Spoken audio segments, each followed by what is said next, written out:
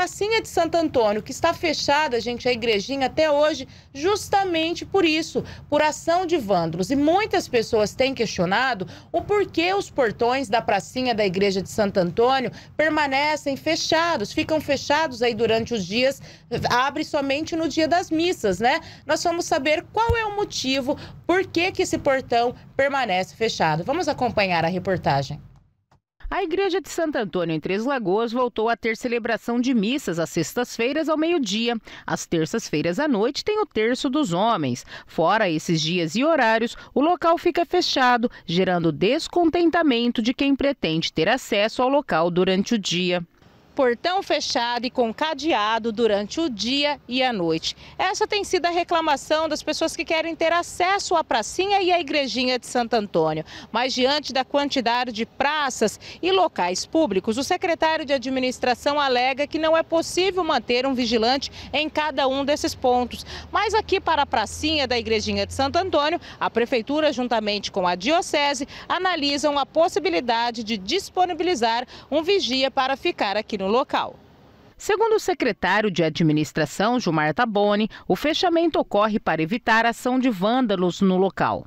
Então, lá é um, uma situação que nós estamos tratando junto com a igreja, né? Porque a, a igreja Santo Antônio ela é de responsabilidade da igreja, da igreja católica. Então a gente está conversando com a diocese para ver o que nós vamos fazer, se realmente vai ficar aberto aquilo ali, mas o que fica fechado é justamente pensando na mesma coisa. Se nós deixarmos aberto, nós vamos ter invasão, vai ter gente é, estragando, quebrando. Então, às vezes, a igreja mesmo não deixa por causa disso. Então, nós estamos tendo esse cuidado e tratando isso junto com a igreja católica para ver o que nós vamos fazer.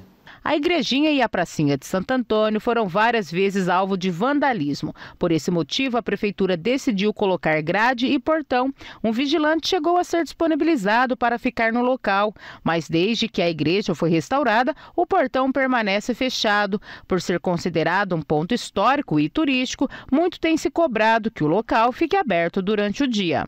Exatamente, porque é uma igreja muito bonita, é um patrimônio de Três Lagoas e as pessoas querem visitar, querem conhecer. E a gente precisa realmente ter aquilo ali aberto. Então nós estamos tratando esse assunto junto com a Diocese. Mas esse não é o único ponto que já foi alvo de vandalismo. Infelizmente, Três Lagoas tem registrado várias ações de depredação contra o patrimônio público. Por isso, moradores cobram a presença de vigilantes nesses locais. Ana, o custo de vigia é muito alto assim, só para que se entenda. Um posto de vigilância, se ele for 24 horas, aqui no sistema que a gente trabalha na prefeitura, que é 4 por 2, nós precisamos de três vigias. Então, para ficar o tempo inteiro cuidando disso. E considerando que nós temos escolas, temos postos de saúde, temos unidades da prefeitura, a gente prefere isso, né? A gente coloca nisso. Então, se a gente for fazer isso, às vezes o custo de ter o vigia é mais alto do que fazer a reposição do equipamento.